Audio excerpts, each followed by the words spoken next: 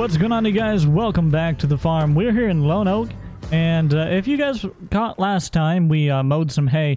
Well, we've got more to take care of. We've got more hay to mow, we got hay to bale, and I'm thinking I'm going to bale before the rain hits, before I mow this piece. I think that's going to be smart.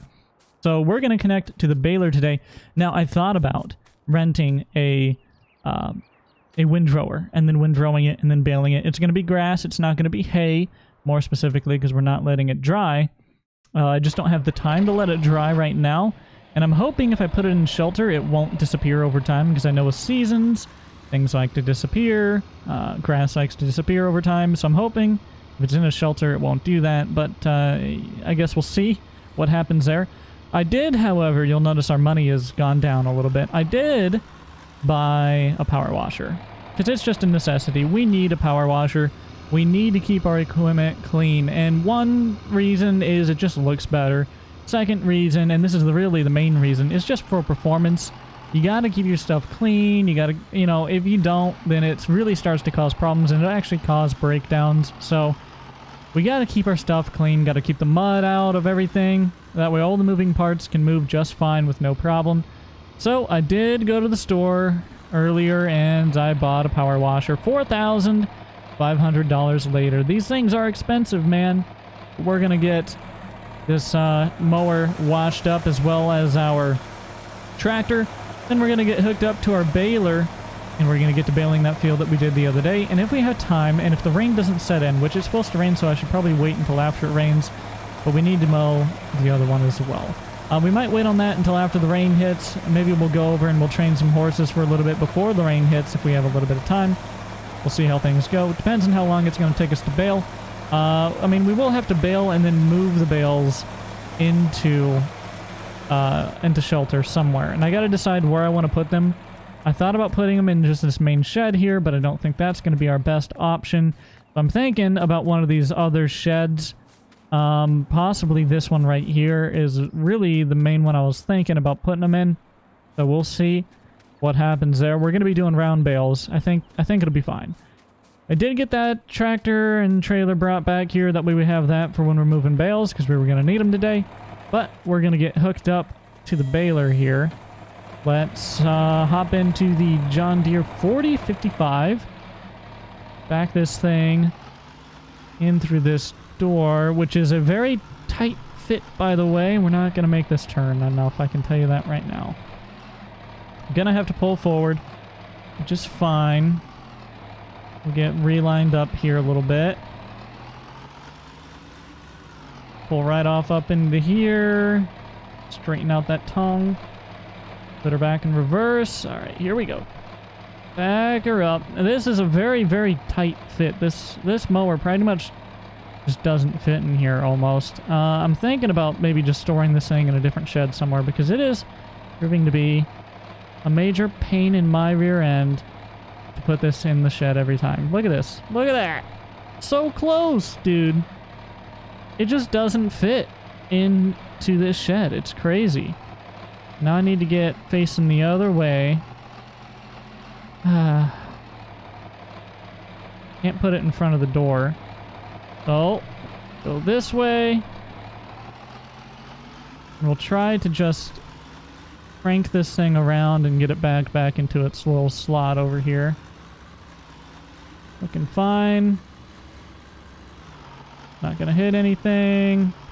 Need to get that planter washed off too. Holy cow. There we go. Back the mower into the corner now, and then we'll hook right up to the baler, which is parked right next door, which is actually really convenient for us. Right there will do. Top out and disconnect this. All right, we're raising that up. Perfect, there we go. Got that dropped off. Let's pull forward, get connected to the baler now, get all the hydraulics hooked up, everything good to go and then we will go out and get to baling today. It is about to rain, so we got to get to going. Like I said, these are going to be grass bales. They're not going to be dried out, unfortunately. But what can you do? Hopefully they don't disappear over time, but if they do, I guess we'll take a we'll take a small loss on them. Not much we can do about it. Right through here, nice and easy. Perfect. I am going to go ahead and close this uh, door here just in case it does start to rain on us. And now let's bring this over to the field and get to baling. So once we get baling, we're going to take the flatbed, and I was going to use it on just that tractor, but I can't. So we're going to take the flatbed, um, we're going to have to put it onto the truck, use the truck to haul the bales, and then we're going to use that international to put them on the trailer to bring them up here. I think that's going to be the plan. And I thought about it, I was like, you know what, it's so close, why don't I just drive back and forth with the bales? But I feel like the amount of time it would take to just go back and forth and back and forth and back and forth, um, it just wouldn't be worth it. So I think we're going to go ahead and put them on a trailer and then take them up there and then take them off the trailer. I just think that's going to be our best way of doing this today, but I guess we'll see what happens. We got the full John Deere setup. Let's fold that thing down. Turn it on, and we are ready to bale. Here we go. Baling some grass. Perfect. Now, I could have windrowed this to make my job a whole lot easier. I did not, which is okay. We'll make do with what we've got. But we're baling, so hopefully we get a good yield off this. This grass was uh, pretty short, so I'm not expecting too many bales here. And these are pretty large bales, uh, so really it, it it's not going to be too bad of a thing um, if, if we don't get a whole lot, because they're pretty large bales. But I think a square baler would be very nice, just because we have horses, and square bales are very nice for that. Can right up next to that fence there. Mowing this was a pain in the butt. For those of you who saw me trying to mow this, I think I hit that fence 250 times, at least. it was not fun, but what are you going to do, am I right? But we're about full here with the first bale, and we're going to be dropping it on a down slope, so hopefully it doesn't roll forward on us. Hoping we're... Oh, yep, we got to the... We got just enough to the uh, bottom side that it wasn't going to roll. Perfect. Now we do have the uh, monitor on this baler running um, in auto mode. So it's auto wrap, auto kick. Um, so we're not actually having to run any of that. We just have to stop the tractor, which is really nice. I don't have to really uh, watch it and uh, and then stop and then manually wrap, which, you know, you just push a button on the monitor and it would wrap it. And then you push another button and it would kick it out. Uh, it's all auto right now. So that's working really nice for us. I usually run it on manual, but I thought we'd give auto a try, and it actually seems to be doing a pretty good job. Sometimes, you know, the wrap has a little bit of a little bit of trouble on auto. Sometimes I like to over wrap things, um, just because the way the the grass texture is and everything, it's a little wet and stuff, or you know, if it's a little flaky, I like to over wrap a little bit. But uh, it seems like that bale held together just fine, so it's not going to be too much of a problem running auto here. We've already got just about a full bale here. Our uh, monitor is actually going off already. So we start slowing down a little bit and stop. Auto kick. It already wrapped it. Perfect. Kick arms coming back in and we're ready to go. Usually there's a uh, gauge on on these to show you the location of your um, of the bale kick, but this model does not seem to have one, unfortunately. Which is, I mean, that sucks, because that's a very useful piece of equipment, but that's alright. We can see it uh, estimated on a monitor here, but it's just nice to have that actual analog um, kind of display to tell you for real if it's all the way back in or not. Because sometimes that thing can get jammed, and then you start going forward, you don't realize it, and you actually just, it messes everything up. Long story short everything gets messed up when that happens. But we're two bales down and honestly not that far from a third, so we're actually getting a great yield. Down here on the bottom side of this field here, it actually yields really, really well. It's, it was very thick, the grass. Um, on the top side, it was actually pretty light, not very, uh, not very thick. But down here on the bottom, it seems to be doing really good. Now we're going to be dumping this on a hillside, so hopefully that doesn't roll. Looks like it didn't. It's not like this is a massive hill here. Um, it's actually pretty smooth. I mean, it is definitely big enough in areas where you'll get a bale to roll. But uh, we're going across the hill most of the time, and uh, we, we don't get in very many. Yeah, that was just barely on the brink of, uh, of heading uphill. So you don't get in too many situations where you're going to be dropping off on a, a straight incline or anything like that in this field here. It's not too much of a problem. Bales are looking good. Looks like the twine's wrapping just fine. I mean, these bales are really wet because they're just grass, so there's that. Would prefer them to be hay. Would have preferred to let it dry out, but sometimes you gotta do what you gotta do. It's fine. We'll just, uh, we'll run this as grass bales. I'm just hoping if I put them under shed and shelter that they will not disappear over time. I guess we'll find out, won't we? Just about got this other bale. Not too much more to go here, and then we'll be on number four. And we've actually got a lot to go yet, so we're going to get quite a few bales off of this. Um, a lot more than I anticipated. I was thinking maybe we'd get 10, 12 bales, and uh, I feel like we might get more than that. So this is going to be interesting to see the count of bales that we get out of this, and hopefully it's not a waste. Hopefully we get to keep them all. And we could sell some, you know, if we need to. I got to make $4,500 back on that power washer. So we could sell some of these bales. My thought process is, though, that uh, the horses are going to need some, right? So I should probably just keep them, but I very well, because I get that whole other field yet, I very well might sell a good bit of these bales just to make some money. I think it, I think that's going to be smart. We take them to a auction and and sell them off. I think that's going to be a good idea for us. Get a little bit of money out of it, cover our operating expenses, maybe give us a little bit of profit to uh, play around with and getting some more land, equipment, and uh, other things along that nature. We'll see. We'll see what we do here. But yeah, you can see on the top side of the hill, the yield just is not as good. Now, I should have just turned tight and then continued. Um, but it's fine. We're going to continue this circular pattern for now. We'll go all the way down here.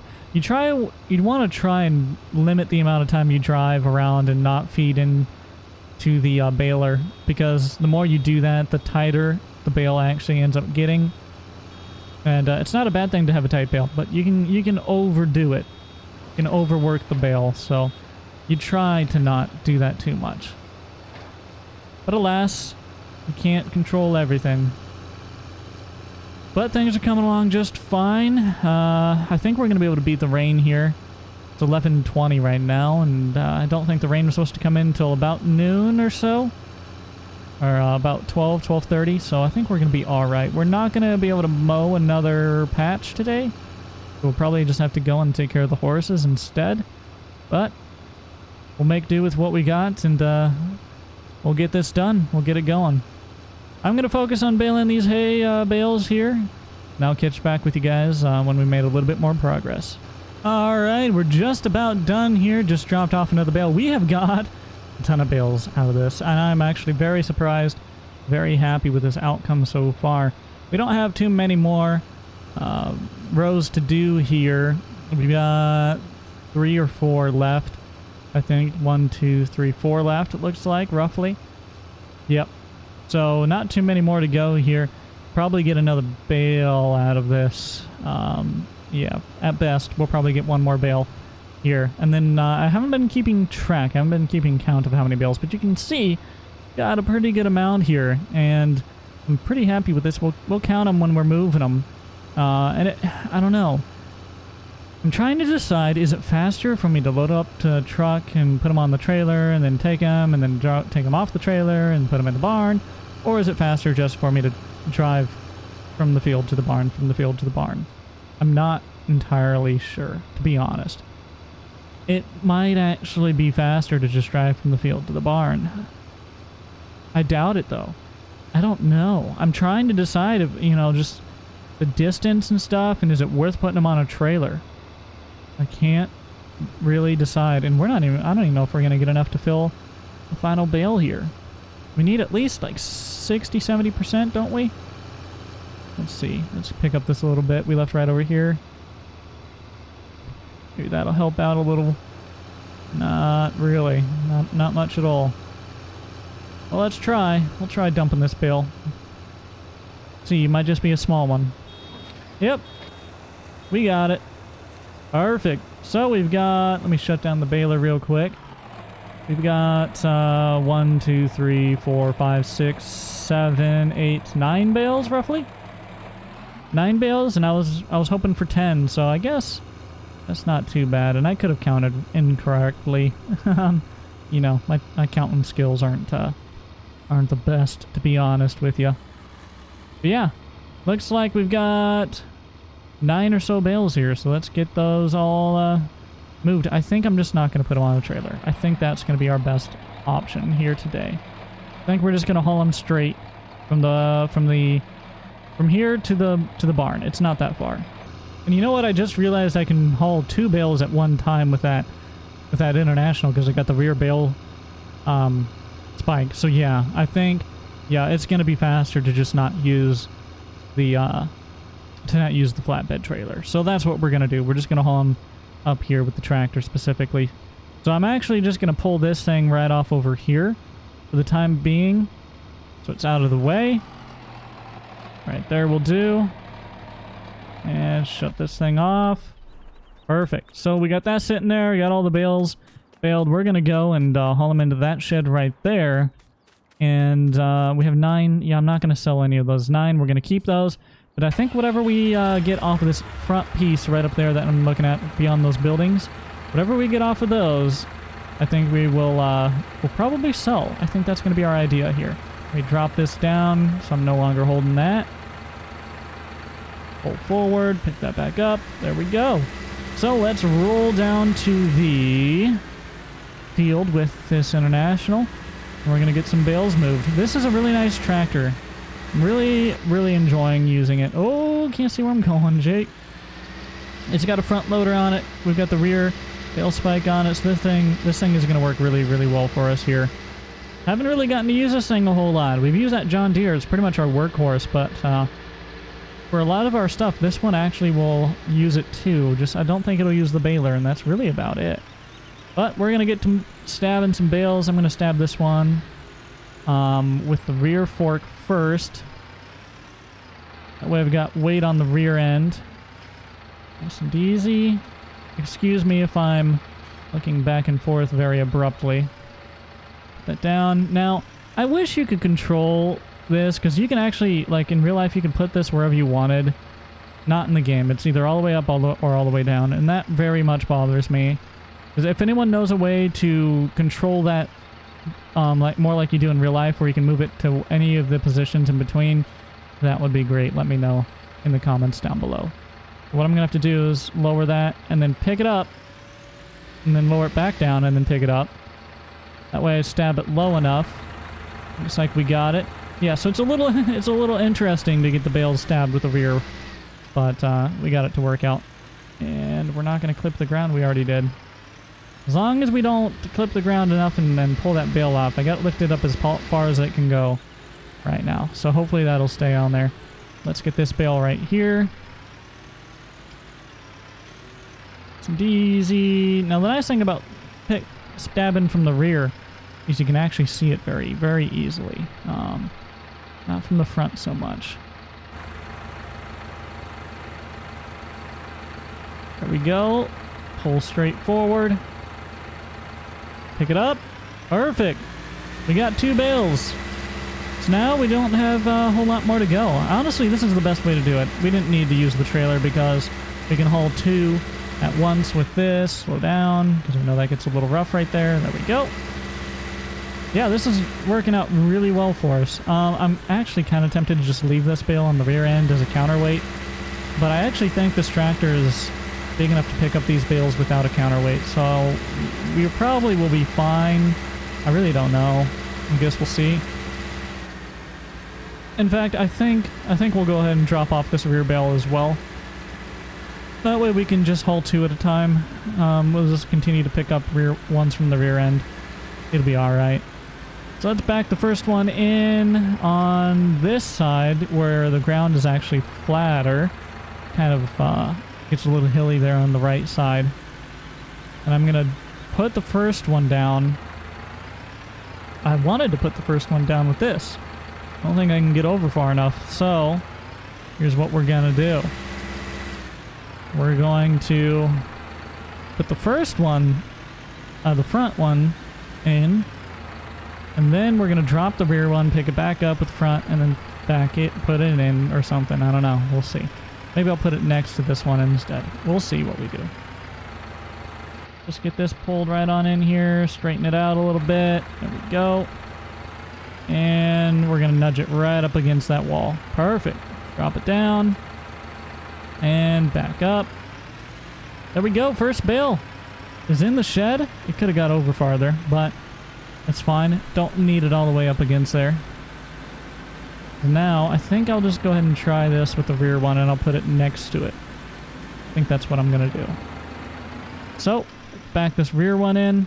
I can actually see over it, which is really nice. Like I said, doing it with the rear is very, very useful because you can actually see what you're doing and kind of try and line things up a little bit here.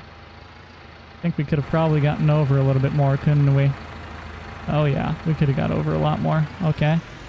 Let's realign there then. Being a little too conservative on the spacing. Back it up and get it right up against it there. Like that is going to be right up against it. So let's get to where we can see. There we go. Back up, drop it down, pull forward, and perfect. Two bales are put away. Now let's go and get two more, shall we? Alright, next I think we're going to take these two bales right down here. And for those of you wondering, I'm always stabbing from the bottom side of the hill, so I'm pushing against the hill. It just helps me uh, stab it. Oh gosh. Can, Bale, can you be over here to the right a little bit more? I completely misjudged that, didn't I? Okay, we'll get relined up here. Might not even need to pull forward. Probably should, but I don't think I'm going to need to. But as I was saying, I stabbed from the bottom side of the hill just to use gravity to my advantage instead of trying to fight it. Right there, that was stabbed too high. Uh, no, it'll work. Okay, let's get the next one, which is right here to our right. Nice and easy. I know there's some rocks down here, so I want to not hit those or puncture a tire or something. Have to keep an eye out for those because we're driving into a little bit of a rough area there. We can actually back up a wee bit here. And realign this little Bale's Dragon. It's alright. God dang it, not paying attention. Now I gotta reline back up this way. We're gonna be a little crooked. Things are not working the easiest here. Okay. Angle that down. Pull forward. Snap the bale. There we go. Perfect. Got two more bales. Now we just got one, two, three, four, five more to go, it looks like. And then we will be done moving these into the shed. Oh. I always want to go for the wrong part of that gate. I always think that gate is over to the left farther, and it's not. Gotta be careful about that. One of these days I'm going to drive into a post. Again. Alright. What we gotta do is take this turn. Let's pull over here. Line this up. We'll drop off uh, the bale. I could go... I think this bale is to go up top here. Right here is where I'm to put this one. Yep. That's to work perfectly. Okay. Pull forward. Found it. Perfect. Drop it down. Lifting up the tractor. There we go. Perfect. Now we'll get the rear one detached and we'll put that one uh, put that one in front of these bales, I think. I could put another one to the side. Um, I don't think I'm going to do that, though. I think I'm going to put this bale... Put it in reverse, Jake. I think I'm going to put this bale right back here. And we can actually line up with that perfectly. Perfect. Right back here. I know we're actually kind of in the wall a little bit there. Don't mind that. Nice and easy. Straight back. Drop it down. Butt it up against the end. And pull forward. Perfect. We got just five more to go now. Let's go and pick up the rest here. Two more. All right, and I think we're going to do these two right here. Go ahead and get this one. Mm, turn that a little too late again, Jake. I'll turn a little sooner next time.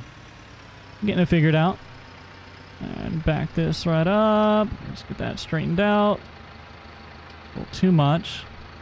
Bring back this way. There we go. And drop it down. And now, once again, We have to try and time this. That's a glow stab this time. Low stab. Eh, actually not bad. Okay. We got that one. Now let's get this one over here. Again, picking it up from the bottom side of the hill. Let gravity work with us, not against us. Why would we fight it? Why would we push it down the hill when we can push it uphill? And it can be kind of a resistance to us getting this bale loaded up. Actually, that is... Is that going to line up really well for us, I think. Stab it. Probably could have gone a little bit lower. Not too bad. There we go, two more bales. After that, we got three more. So we'll do uh, one more two bale load, and then we'll just haul one with the uh, either front end or rear end, whichever one I decide. Depends on where the bale has to end up going. If it's on the ground, we could do the rear. If it's on uh, on top of one of the other bales, we'd have to do it with a front loader. The Mountomatic, by the way, is what it says on it. I noticed that earlier, and I thought that was kind of funny. I thought that was kind of cool. It's called the Mountomatic. Anyways, let's get these bales loaded up. And take this turn wide again. Line ourselves up. Perfect. And shoot. I actually need that one bale to move over a bit. It's a little bit off. Um, we're going to turn around here. We're going to use the bottom bale because the next bale has actually got to go on top. And I wonder if I can push that bale over a wee bit because it's kind of in my way. Guess we'll see what happens here, won't we? See if I can give that bale a little shove over something. Nope. Nope, that's not going to happen. Well, then... Right there is that bill. that bill will be going then, I guess. What can you do? Bill's also a little crooked. These aren't going to be beautifully stacked, apparently. Apparently, uh, it's been a while since I've stacked bills. Doing a little bit of a rough job here, but what are you going to do? Can't complain. They're under shelter, and hopefully that means they won't disappear. Although they probably will. Put this one away. Pull straight forward, drop it down. That'll do. Back it off. Perfect. Go get two more. And we're going to pick this one and then probably that one up. And then that one will be last. How's that sound? Again, doing a horrible job lining that up. Way over here. Crank it. Keep cranking it. Keep on cranking it. There we go. That'll be good right there. Drop it down. Ooh, that was a high stab this time. Yeah, that was a really high stab this time. I'm going to redo that. That's not going to work for us. Right up there. And that's a very low stab. But I'll take it. Gives us more clearance on the ground. You don't want to stab too high or too low because you uh, you can rip the bales. Not as easy with a round bale, but with a square bale, easier to rip them. Destroy the uh, net wrap and stuff. We're a little off. I'm going to try and reline up here a little bit. Tell we were just a little bit crooked to this bale. There, that's a lot better. Pulling forward. Perfect. Take these two back over to the shed, and then we'll have one more to haul. All right. Well, I was about to say final two, but no, we have one more. We have one more after this, don't we? Oh, do I want to put one over here to the... No, I don't. I changed my mind. We're going to put this one right over here. Nice and easy. Go and angle that down so I can see what I'm doing. And right there, butt it up against the end. Make sure all the pressure is off of it. Back off. There we go. Now we got the rear one. Let's turn around. This really didn't take all that long. Really wasn't that bad. Let's go ahead and try and line ourselves up here. We're a little crooked, actually. I'm gonna keep, I'm gonna jump this thing up and down so it's not dragging on the ground, but so I can see, don't mind that. There we go. Then let it drag. Right over there. Perfect. Let's pull forward. Uh-oh. Stab this thing so low I can't get it off the forks now. There's not enough down pressure. There we go. Took a little persuasion. I'm gonna check that real quick. Uh, it's doing all right. Yep. Perfect. Those ones actually went better than these ones over here. Now we got one more, and then that one will go right there on top. Perfect. This is going to work out really well. So let's go pick up the last bale, and then we will have all of our bales from that small field put away, and then we have to mow the other one. It's about four, or it's about 11.50 now, and uh, I think the rain is supposed to come at noon or uh, or 1 or 12.30 or something like that. I can't remember. I'll have to check the forecast. But uh, the skies are still bright blue. There's not a cloud in the sky. Oh, actually, there's a little bit of clouds in the sky. I don't know. We might actually be able to get some more hay done yet today before the rain hits. Just looking at it, there is nothing. Nothing in the weather. I don't know. I'll have to check the forecast and on my phone here and see what it says. But we'll check it in a second. Let's get this last one picked up. And line up. Angle that down. Perfect. Pick it up and drive away. Very fast. Very easy. So we got our final bale loaded up. That's going to be it for this one. Hopefully you guys enjoyed the video. If you did, make sure to give it a like. Let me know what you want to see more of on Lone Oak here. Thank you so much for watching. And until next time, I'll see you all later.